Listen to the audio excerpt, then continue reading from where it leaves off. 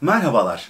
Bu videomuzda internette ve sosyal medyada görgü ve nezaket kuralları anlamına gelen netiket kavramından bahsedeceğiz. Bu kavramı belki bazılarınız duymuştur ya da belki ilk defa duyuyor olabilirsiniz. Netiket kısaca internetteki görgü ve nezaket kuralları anlamına gelir. Net ve etiket kavramlarının bir araya gelmesiyle oluşmuştur.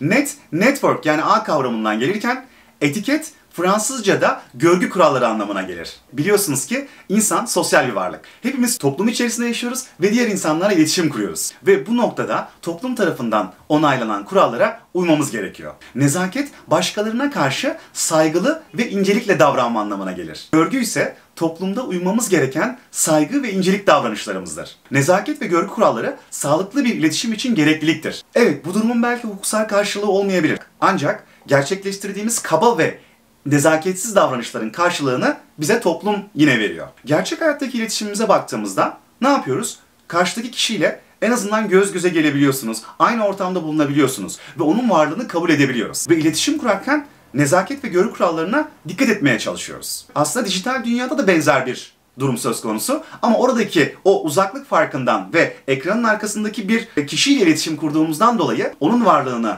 gerçek hayattaki gibi kabul etmediğimizden kaynaklı olarak bazen nezaketsizce ve görgüsüzce davranabiliyoruz. Nerede olursak olalım, ister gerçek dünyada, ister sanal dünyada insanlar saygı gösterilmeyi hak ediyor. Bu videomuzda internetteki görgü kurallarından yani netiketten bahsedeceğiz. Biz buna dijital nezaket ya da dijital görgü de diyebiliriz. Konu neden bu kadar çok önemli? Çünkü dijital dünyada geçirdiğimiz süre gerçek hayatta geçirdiğimiz süreden daha fazla olmaya başladı. Ki biz bunu pandemiden sonra daha da net görmeye başladık. Mesela yapılan güncel bir çalışmada günlük 7-8 saat civarında bir vaktimizi internet ortamında harcadığımızı görüyoruz. Ve bunun 2 ve 3 saati sosyal medyada harcıyoruz.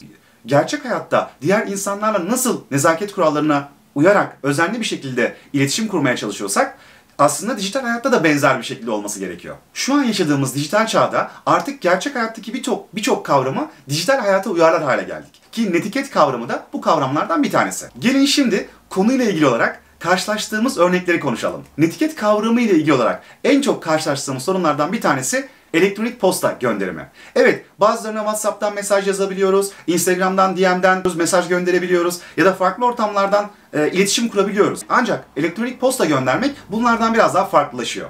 Mesela karşılaştığımız bir örnek durumdan bahsetmek istiyorum size. Karşı tarafa boş bir mail göndermek. Bakın çok büyük bir nezaketsizlik örneğidir. Bu örnekle belki çoğunuz karşılaşmıştır. Bir bakıyorsunuz karşı taraftan boş bir mail gelmiş, sadece size göndermek istediği dosyayı göndermiş. Elektronik posta aslında birçok yerde benzer nitelikte çalışıyor. Oradaki elektronik posta gönderme formu genelde aynıdır. İşte kime gönderildiği, konu ve mesajdır. Bu kadar basit. Ama biz ne yapıyoruz? Konuyu yazmadan, mesajımızı yazmadan direkt olarak dosyamızı ekleyerek karşıya gönderiyoruz. Peki nasıl yazmamız gerekiyor? Göndereceğimiz mesajımız neyse Konumuz bunu içeren kısa bir başlıktan oluşabilir. Arkasından mesaj bölümüne merhaba, iyi günler, iyi akşamlar gibi bir hitap cümlesiyle başlayabilirsiniz. Eğer karşıdaki kişiye ilk defa ya da ikinci, üçüncü defa da olabilir bir mesaj atıyorsanız kendinizi tanıtmanızda fayda var. İşte hocam merhabalar. Ben İlköğretim Matematik Öğretmenliği bölümünden Mustafa. Daha sonra kısaca mesajımızı yazıyoruz, meramımızı anlatıyoruz. En sonunda da iyi dileklerle mesajımızı bitirmemiz gerekiyor. Sizin karşı tarafa boş bir mesaj göndermeniz ona karşı yapılmış bir saygısızlık örneğidir dijital anlamda. Konu kısmına mesajımızı bazen konuya da yazdığımız zamanlar oluyor. Bu da dijital bir nezaketsizlik örneğidir. Konu sadece mesajınızla ilgili olan kısa bir başlıktır. Hatta hatta bazen karşı taraftan hızlı bir cevap beklediğimiz için işte acil yazıyoruz. Ünlemler, yardım yazıyoruz. Ünlemler. Bakın bu da aslında e, çok hoş karşılanmayan bir durumdur. Çünkü zaten karşıya gönderdiğiniz kişi o mesajın acil olup olmadığını kendisi de yorumlayabilir. Bunları bu şekilde yazmak karşı tarafa rahatsızlık verir. Başka bir örnek vermek istiyorum size. Öğrencimiz öğretmene şöyle bir e-posta gönderiyor. Adresi crazyboy2023@hotmail.com. Bir mesaj geliyor. Mesaj hanesi değil konuda yazıyor. Hocam bugün ders var mı? Bir kere gönderilen mail adresi açık değil. Yani kimden mesaj geldiğini bilmiyorsunuz. Hangi dersiniz, ne olduğunu anlamıyorsunuz. Gördüğünüz gibi bakın bir iletişimde bir problem yaşıyorsunuz. Çok uzun mesajlar yine karşı tarafı rahatsız edeceği için e, netiket açısından uygun değildir. Dil kullanımı da çok önemli. Açık, anlaşılır bir dil kullanmak e, yine uygun bir davranıştır. Özellikle elektronik posta gönderirken kısaltmalar yapmamanız uygun olur. İşte SLM, NBR, KIP gibi bu tarz kısaltmalar maillerde çok uygun değil. Yine elektronik posta gönderiminde bir de CC ve BCC diye bir alan var. Eğer toplu bir mail gönderimi söz konusuysa gönderdiğiniz mesajınızı BCC yaparak göndermeniz daha uygun olur. Neden? Çünkü bazen toplu gönderilen maillerde herkesin mail adresini görebiliyorsunuz. Aslında bu şu anlama geliyor. Yani ben diğerlerinin e, mail adresini bilmek zorunda değilim. Gizlilik ilkesine de bakın aykırı bir durum söz konusu. O yüzden bu CC ve BCC'yi de çok dikkatli ve bilinçli kullanmak gerekiyor. Yine birisi tarafından toplu bir mail atıldıysa ve sizin ona cevap vermeniz gerekiyorsa bazen mesela reply to all diye bir seçenek var. Yani herkese cevap yazıyorsunuz. Bir de sadece gönderen kişiye cevap yazıyorsunuz. Eğer sizin gönderdiğiniz mesaj sadece gönderen kişiyi ilgilendiriyorsa reply demeniz daha mantıklı. Çünkü reply to all dediğinizde sizin mesajınız diğer kişilere gitmiş oluyor. Ve böylece bakın diğerlerini de rahatsız etmiş oluyorsunuz. O mesajın çünkü onların görmesine gerek yok. Rahatsız edici bir durum söz konusu. Bu da yine netiket kurallarına aykırı bir durumdur. Özellikle internette hangi ortamda olursanız olun kullandığımız dil çok önemlidir. Uygun olmayan argo kelimeler, küfürlü ifadeler, karşı taraftaki kişiyi aşağılayıcı ifadelerden uzak durmamız gerekiyor. Yine bakın büyük harf kullanımına dikkat etmemiz gerekiyor. Büyük harf internet jargonunda karşı tarafa bağırmak anlamında kullanılıyor. Düşünsenize gerçek hayatta bir kişinin bağıra bağıra konuştuğunu düşünün. Bu kaba bir davranıştır. Bu da bir dijital görgüsüzlük diyebiliriz. İletişim kurduğumuz kişiler çok önemli. Karşınızdaki kişi daha resmi ya da belki daha yeni tanıştığınız bir kişi ise kendinize göre daha samimi, daha yakın belki konuşmalarda bulunabilirsiniz ama kibar ve nazik konuşmak gerekiyor. İşte teşekkür ederim, rica ederim, iyi günler, işte Mustafa Bey, Ayşe Hanım gibi daha kibar bir dille kullanmak netiket açısından daha uygun olur. Bir de emoji kullanımını konuşalım. İlk defa tanıştığımız ya da çok samimi olmadığımız birileriyle eğer iletişim kuruyorsak burada emoji kullanımına dikkat etmeliyiz. Biliyorsunuz emojiler duygularımızı yansıtan, o anki durumumuzu yansıtan bir görsel iletişim araçlarından bir tanesi. Karşıdaki kişiyle e, ilişki düzeyimize göre emojimizi kullanmamız gerekiyor. Eğer dikkatli kullanmazsak bazen nezaketsizce algılanabilir. Eğitim ortamları için konuşacak olursak öğrencilerle öğretmenlerin belki hani emoji kullanmasında ben çok sakınca görmüyorum. O sıcak bir öğrenme ortamını da sağlamak gerektiğini düşünüyorum. Aynı maili atmak, tekrar etmek yani hani onu dürtmek anlamına geliyor aslında. E, bu da çok netiket kurallarına uygun değil. Yani şöyle düşünün, işte evinizde zil çalıyor. Devamlı zil zile basıldığını düşünün. Ne yapar? Bu sizi rahatsız eder. O yüzden hep aynı mesajın karşı tarafa gönderilmesi de e, nezaket kurallarına uygun değildir. Belki mesela bir elektronik posta attınız bir karşıdaki kişiye, size dönüş gelmedi. Kibar ve nazik bir dille bir hatırlatma mesajı göndermeniz daha uygun olur. Elektronik postalarda ya da mesajlarda olabildiğince karşı tarafa kısa zamanda cevap verilmesi nezaket kurallarına uygun bir davranıştır. Özellikle uzaktan eğitim ortamlarında bazen öğrenciler öğrenciler öğretmenlerine mesaj atabiliyor. Tabii ki anlık cevap verilmeyebiliyor. Takdir edersiniz ki öğretmenler o sırada derste olabiliyor da farklı işleri E, ve e, belirli yani oradaki gecikme Tabii ki oralarda gecikme olabiliyor ama bunları da öğrencilerimizin tabii ki anlayışla karşı, karşılaması gerekiyor. Ama normal şartlarda e, gönderilen bir elektronik posta ya da mesaja olabildiğince kısa sürede cevap vermek bir nezaket kuralıdır. Burada özellikle WhatsApp kullanımı ile ilgili de birkaç husustan bahsetmek istiyorum. Eğer biz karşı tarafa bir mesaj göndereceksek günün uygun vakitlerinde göndermek burada uygun en uygun olanı. Yani gece mesaj göndermek ya da hafta sonu o kişiyi rahatsız etmek çok da uygun değil. Gönderiyorsak bile eğer acil bir durum söz konusuysa mutlaka en azından işte pazar günü sizi rahatsız ediyorum kusura bakmayın gibi bir ifadeyle başlamak da tabii ki daha uygun olur. Diğer bir önemli yaşanılan örnek durumlardan bir tanesi de özellikle sosyal medya ortamlarında ya da WhatsApp ortamlarında e, ikili tartışmalar. Bir WhatsApp grubunuz var. İki kişinin orada kişisel tartışma yapması çok hoş karşılanmaz. Çünkü diğerlerinin sizin o tartışmanızı duymasına, görmesine gerek yoktur. Bunun yerine sizin o kişiyle özel olarak konuşmanız daha uygun olur. Yani kimsenin kimsenin e, ikis, ikili problemlerini orada görmesine gerek yoktur. Özellikle bunlara da grup ortamlarında dikkat edilmesi ve nezaket kurallarına uygun davranılması önemli. Eğer topluluk varsa, başkaları varsa çok fazla birilerini aşağılayıcı, birilerine uygun olmayan sözlerle hitap etmek uygun değil. Bunlar nezaketsizce ve kabaca gösterilen tepkilerdir. Diğerleri tarafından hoş karşılanmaz. Belki siz orada kendinizi savunmak istiyorsunuzdur. Buralarda biraz daha sakin olmak, temkinli olmak, karşıdaki kişiyi de kırmadan bu düşünceni bana özel olarak da söyleyebilirsin. Hani bu ortamlarda gerek yok gibi uzatmadan e, kesmekte fayda var. Çünkü hiç kimse diğerlerinin o e, kendi problemlerini, oradaki oradaki problemlerini görmek zorunda değil. Bu da bir rahatsız edici, yine nezaket kurallarına uygun olmayan davranışlardır. Biraz da eğitim ortamlarıyla ilgili konuşalım. Artık biliyorsunuz biz pandemiyle birlikte daha çok böyle çevrim içi öğrenme ortamlarını kullanır hale geldik. Mesela canlı dersleriniz oluyor sanat sınıflarda. Ya da farklı toplantılarımız oluyor gruplarla, online toplantılarımız oluyor. Burada da yine netiket kurallarına uymamız gerekiyor. Canlı derslerde en sık karşılaştığımız problemlerden bir tanesi öğretmen sınıfa bir soru sorduğunda eğer muhatap kimse onun cevap vermesi nezaket kurallarına uygun bir davranıştır. Bir sınıf sonuçta. Siz oraya bağlanmışsınız, o ortama dahil olmuşsunuz.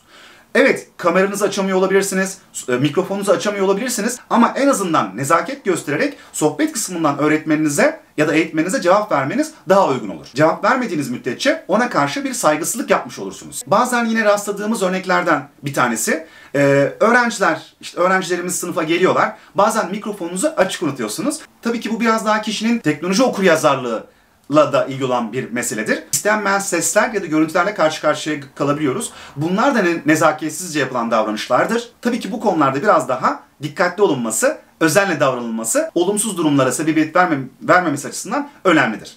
Yine çok sık karşılaştığımız durumlardan bir tanesi söz almadan konuşmak karabalık bir gruptan oluşuyorsa o ortam, sanat sınıflarda ya da toplantılarda mutlaka söz alarak konuşmak daha nezaketli bir davranıştır. İşte parmak kaldırma, el kaldırma gibi orada butonlar var. Oraları kullanarak konuşmanız, izin alarak konuşmanız daha doğrusu diğer arkadaşlarınıza da daha saygılı davranmanız açısından önemlidir. Evet diyeceksiniz ki hocam gerçekten bunlar bu kadar önemli mi? Evet önemli. Bir gereklilik. Bunların bir yaptırımı yok. Yani sizin bir söz almadan konuşmanızın bir hukuki yaptırımı yok. Ama burada hem oradaki diğer gruptaki insanları rahatsız etmemek adına hem de moderatöre ya da eğitimciye saygılı olmak adına değerli ve nezaketli bir davranış olması açısından önemli. Günlük hayatta da böyledir. Nezaket ve görgü kurallarına uymak medeniliktir, nazikliktir, inceliktir, karşı tarafa saygılı olmaktır. Dijital dünyada da bu davranışlarımıza dikkat etmemiz önemli. Özellikle birisine sosyal medyada ya da farklı ortamlarda cevap verirken biraz düşünmek Ondan sonra cevap vermek gerekiyor. Fevri bir şekilde ona cevap verip onu kırmamak gerekiyor. Hatta bir de sosyal medya ortamlarında biliyorsunuz troller var. Size bir yem atarak kendine doğru çekmeye çalışıyor ve sizin gibi olanları çekmeye çalışıyor. Ortalığı karıştırmaya çalışıyor. Bundan besleniyor. Bunlara da dikkat etmek gerekiyor. Bu tarz ortamlarda birisini eleştireceğiniz zaman önce onun yerine kendimizi koymamız gerekiyor ve ona göre bir tepkide bulunmamız gerekiyor. Böyle bir durumda diğer kişiye karşı hani alaycı, aşağılayıcı bir de cevap vermek, saldırgan bir dil kullanmak bizi haksız pozisyona düşürür. Nasıl gerçek hayattaki söylemlerimizde dikkatli oluyorsak, sanal dünyada da aynı özeni göstermemiz gerekiyor. Yine karşılaştığımız farklı bir örnek, birisinin fotoğrafını ya da birisinin fotoğrafını ya da ona ait olan bir şeyi ondan izinsiz paylaşmak. Mesela özellikle sosyal medyada taglemek dediğimiz etiketlemek. Ne yapıyoruz? Toplu ortamda bir tane fotoğraf çekiliyoruz. Hemen orada e, o kişiyi etiketliyoruz. O fotoğrafın, o görüntünün paylaşılması o kişiye belki rahatsızlık verebilir. Bizim paylaşacağımız içerikte başkalarını ilgilendiren meseleler, fotoğraflar, içerikler varsa lütfen onların da rızasını almakta fayda var. Bu da çünkü karşı tarafa rahatsızlık verebilir, nezaketsizce bir davranıştır. Yine başkalarının sözlerini paylaşıyorsak, başkalarına ait bir eseri paylaşıyorsak onlara alıntı vermemiz yine uygun olan bir davranış. Burada şöyle örnekler de vermek istiyorum. Mesela özellikle sosyal medyada çok sık karşılaşıyoruz. İşte devamlı görgüsüzce paylaşımların yapılması. İşte bakın ne yiyorum bugün. Hani toplumda böyle amiyane tabirle hani görmemiş diye bir kavram kullanırız bazen. İşte bu tarz paylaşımların yapılması da sosyal medyada çok uygun değildir, nezaketsizcedir. E, bunları da dikkat etmemiz gerekiyor. Evet belki amacına uygun, insanlara örnek olmak adına, tasarımsal açıdan, sunum açısından daha uygun e, bir e, amaçla paylaşıyorsak belki bunda sorun olmayabilir ama mesela hastane paylaşımları. Şöyle düşünün. işte serum takılmış, işte ayak alçıya alınmış. Bu tarz görüntülerde çok uygun değildir. Diğerleri rahatsız edici görüntülerdir. Bir de şöyle örneklerle karşılaşıyoruz. Mesela birisiyle bir problem yaşıyoruz. Ona direkt birebir cevap vermek yerine sosyal medyadan mesaj gönderiyoruz. İşte insanlar da böyle falan. Ama benim onu görmeme gerek yok. Bunun muhatabı bir ya da birkaç kişi. Doğru değil mi? Ee, ama diğer insanlar o psikolojinizi, o durumunuzu bilmek zorunda değil. Bazen de böyle işte çekilişe katılırken birbirlerine etiketlemeler oluyor. Yani sizin rızanız olmadan hani rahatsız edici aslında bir durum oluyor. Birileri devamlı sizi etiketliyor. Ya da birilerine devamlı böyle bir davet gönderiyorsunuz. Bakın bunlar da karşı tarafı rahatsız eden, nezaket kurallarına uygun olmayan davranışlar. Bazı sosyal medya uygulamaları bunların tabii ki önlemlerini alıyor. Mesela siz etiketlendiğinde size mesaj geliyor. Sizin onayınızı istiyor. Bu ayarlardan da gizlilik ve güvenlik ayarlarınızı kontrol edebilirsiniz. Bir de uzmanlık alanınıza girmeyen e, bilmediğiniz yanlış bilgiler insanlara paylaşmamanız gerekiyor. Bazen oluyor. Her şeyle böyle her şeyden bilgisi var, paylaşıyor. Öneride bulunuyor. Yani yanlış bilgilerle insanları da yönlendirmek çok da doğru değil. Yani siz doktor değilsiniz, uzman uzmanlık alanınız o değil ama hep mesela işte onlar o konuyla ilgili paylaşımlarda bulunuyorsunuz. Sürekli sürekli sürekli. Yine mesela WhatsApp gruplarında bir gruptasınız. E, ikili problem yaşıyorsunuz başka bir kişiyle. Ne yapıyorsunuz? Gruptan ayrıl ayrılıyorsunuz mesela. Evet sorun yaşayabilirsiniz ama orada diğer insanlar da var. Diğer o insanlara bir açıklama yapmadan çıkmanız da yine bir nezaketsizlik örneğidir. En azından onlara küçük bir açıklama yapmanız da daha uygun olur. Tabii hep bakın internet ve sosyal medyadan konuştuk ama mesela teknoloji anlamında e, günlük hayatta şu tarz durumlarla da karşı karşıya kalabiliyoruz. Bazı ortamlar vardır. O ortamlar özel ortamlardır. O ortamlarda biraz daha nezaketli davranılması önemlidir. Mesela ibadethanelerde, camilerde telefonunuzun sesini kısmanız e, diğer insanlara rahatsızlık vermemeniz açısından önemlidir. Sinemaya gidiyorsunuz. Sinemalar nasıldır? Genelde, genelde karanlıktır. E, karanlık ortamda mesela telefonunuzun telefonunuzu açmanız, telefonunuzla ilgilenmeniz film anında bu da ka- karşı tarafa bir saygısızlıktır. Ekrandan yansıyan ışık diğerlerinin dikkatini dağıtıyor. Bakın onlara karşı yapılan bir saygısızlıktır. Tiyatroda, toplantılarda hatta karşılıklı bir kafede otururken bile hani telefonla ilgilenmeniz karşı tarafa saygısızlıktır. Yani benim için öncelik olan telefondur mesajı veriyorsunuz. Yani masada senin yanında bir kişi daha var anlamındadır telefonunuzu masaya koymak.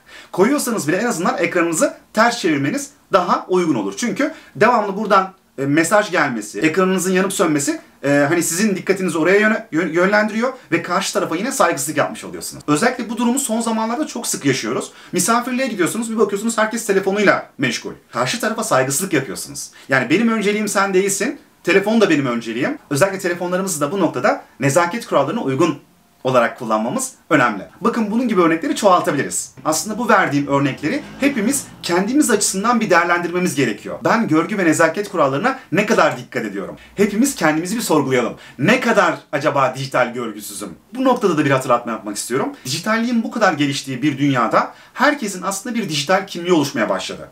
Yani bizim e, sanal dünyadaki hareketlerimiz, eylemlerimiz, sergilediğimiz davranışların hepsi bizim aslında e, dijital özgeçmişimize ekleniyor. Bıraktığımız izler birikiyor. Hani biz işe alımlarda bir CV ile gidiyoruz, bir özgeçmişle gidiyoruz. Belki bundan sonraki süreçte hayatımızın artık vazgeçilmezi olan bu dijital dünyadaki CV'miz de e, buralarda belki yer bulacak. Biz işe başvuru yaparken bile ne yapıyoruz? Yani suç işlemediğimize dair bir belge sunuyoruz. İşte bundan sonraki süreçte belki dijital sabıkasızlık diye bir belge çıkacak. O yüzden dijital dünyada, dünyada attığımız her adıma dikkat etmemiz gerekiyor. En önemlisi ise başkalarını rahatsız etmeden, kendimizi onların yerine koyarak ölçülü, saygılı bir şekilde davranmamız gerekiyor. Son olarak Mevlana'nın bir sözüyle bitirmek istiyorum. Her şey incelikten, insan kabalıktan kırılır. Bir sonraki videomuzda görüşmek üzere.